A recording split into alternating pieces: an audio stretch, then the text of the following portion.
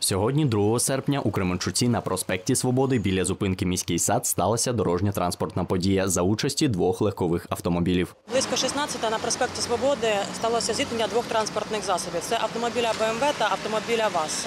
На даний час на місці події працюють слідчі та патрульні поліцейські. За попередньою інформацією з місця дорожньо-транспортної пригоди до лікарні госпіталізовано восьмирічного хлопчика. Він перебував пасажиром автомобіля ВАЗ. Також в автомобілі перебувала ще дівчинка 2 роки. Водії обох транспортних засобів не постраждали. Наразі слідчі встановлюють обставини дорожньо-транспортної пригоди. Попередньо повідомляється, що аварія відбулася через неуважність водія автотранспортного засобу ВАЗ та через перевищення швидкості водієм автомобіля БМВ. Слідкуємо за подальшим розвитком подій. Дмитро Цирюльник, Олексій Крижановський, Кременчуцькі новини.